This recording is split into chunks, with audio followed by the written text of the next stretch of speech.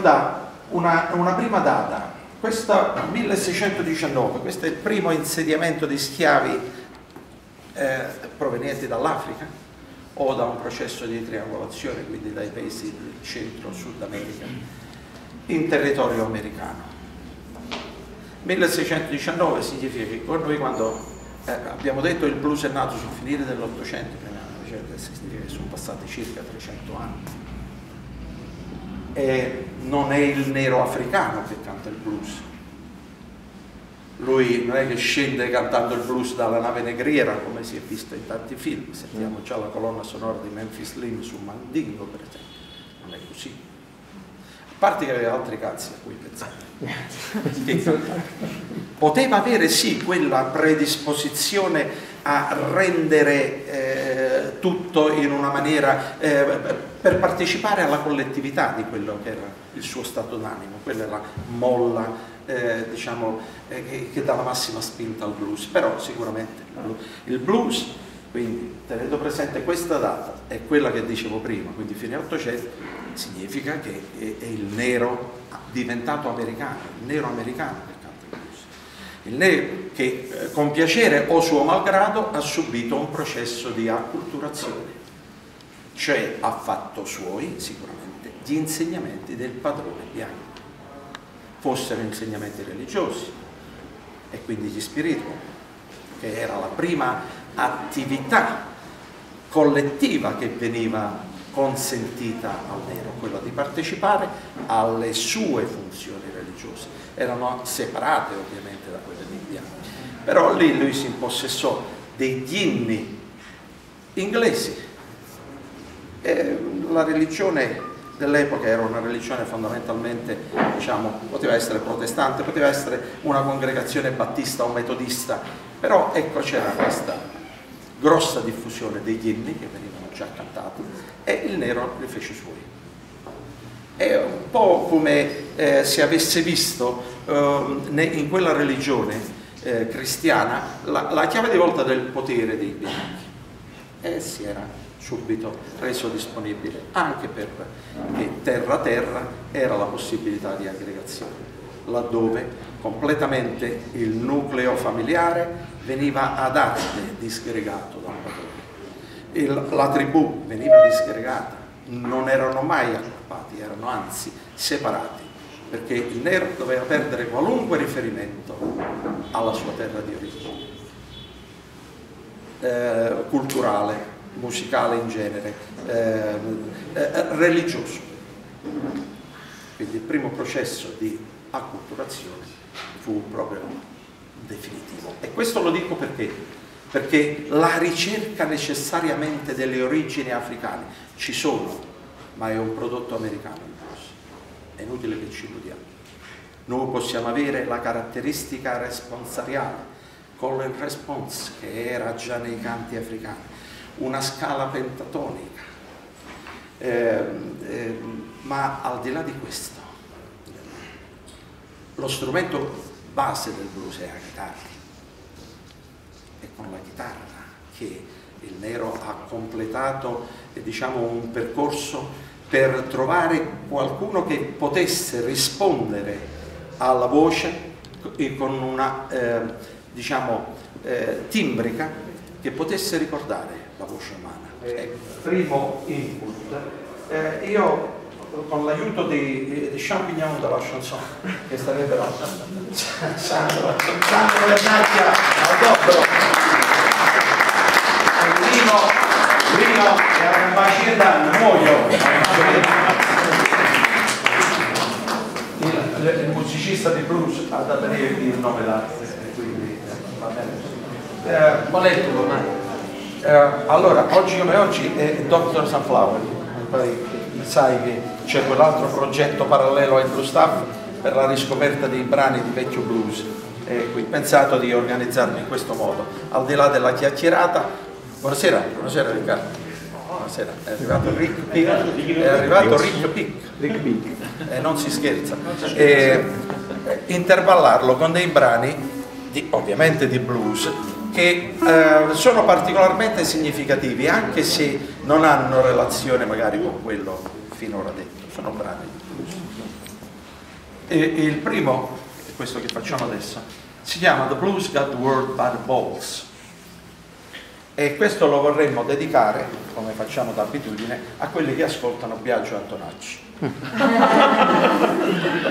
Perché questo? Per, eh, eh, voglio perché è pericoloso. Questo è manifesto.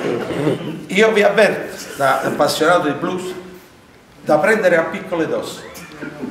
C'è sta gente che dopo aver ascoltato tutto il CD è morta. È tagliato Vedono prove. sì, sì, sono fatti conclamati. Cliniche. Io mi trovai a telefonare a casa di un'amica, dice Mario, quella stava bene ieri sera, ma infatti ci siamo visti ieri sera, mo è trapassato. Perché se seduto CD viaggiando la cifra? E io gliel'avevo sempre detto, 3-4 brani, non di più. Allora, The Blues Got the World by the Balls, perché adesso a parte l'ilarità, eh, eh, eh, sarebbe, lo traduco che per quei pochi, pochissimi che insomma in realtà però una mostra di rock ha visto, la sapevi che stanno parlando, insomma, il, il blues c'ha il mondo per le palle, perché non c'è nessun'altra musica che sa più di sangue, sudore e lacrime come il blues. Quindi ogni tanto, una volta all'anno, un giorno all'anno, 24 ore blues non mi fanno male. Voi andate avanti da casa, ripetiatelo e poi il giorno dopo, ma io mo faccio una volta viaggiando una però, però nel frattempo siamo pronti? Oh, due, one,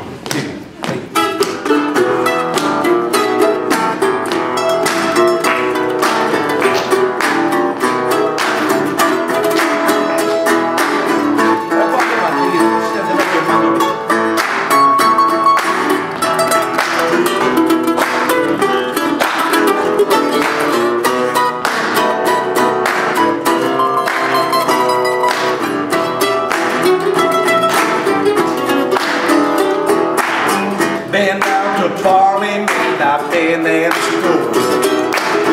I've been in jail to learn the golden rule. Been to the workers' place, time windows all went all. And the only thing I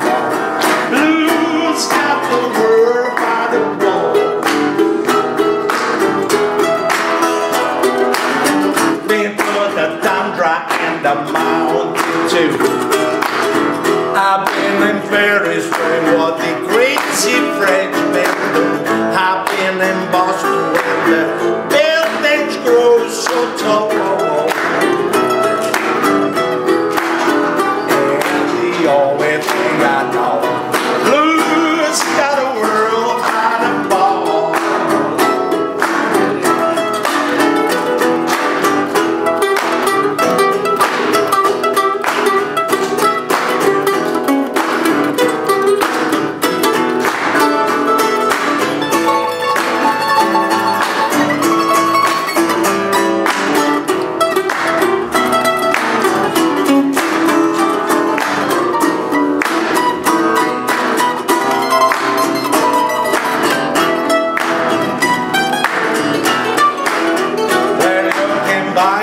from a preacher or from a bull shark. You found him in a grammar socialized Down in the washroom gonna read it on the wall, wall, wall. Yeah, the only thing I know Blues got to work by the balls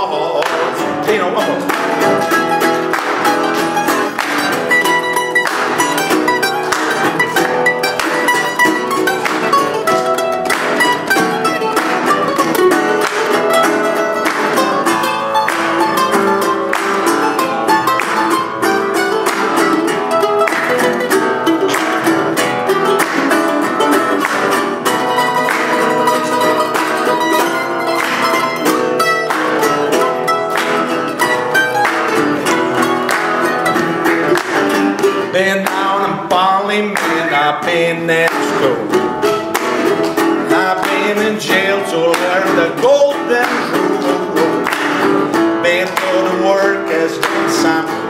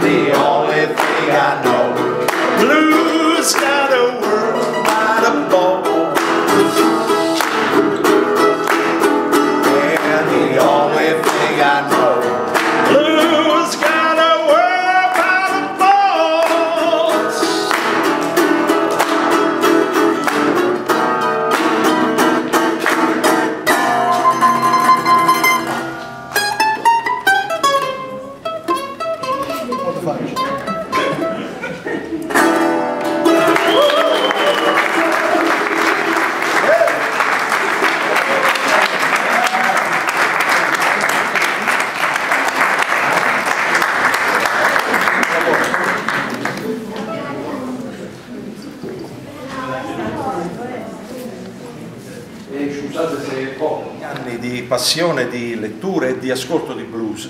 Eh, il blues è fondamentalmente cinque cose.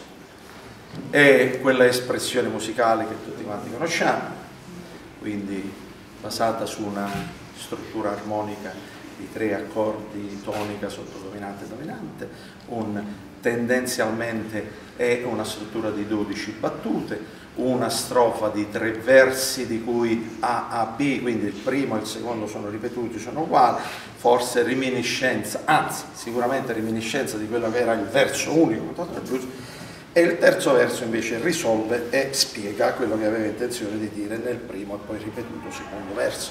Sicuramente questo è uno, però il, il blues è, come accennavo, innanzitutto la storia di un popolo quindi è sminuirlo dire un'espressione musicale.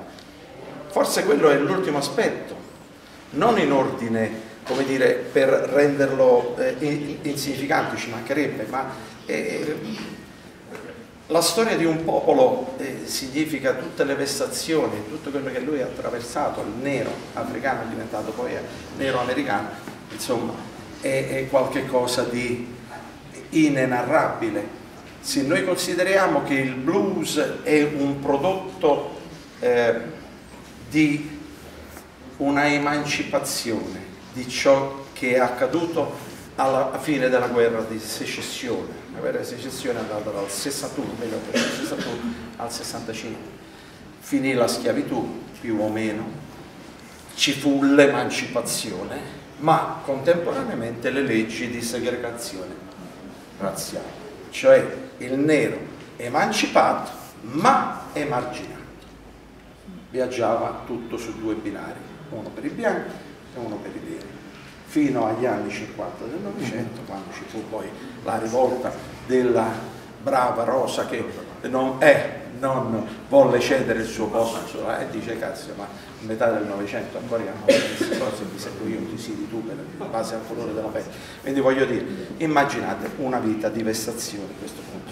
Il blues è un prodotto del nero emancipato ma emarginato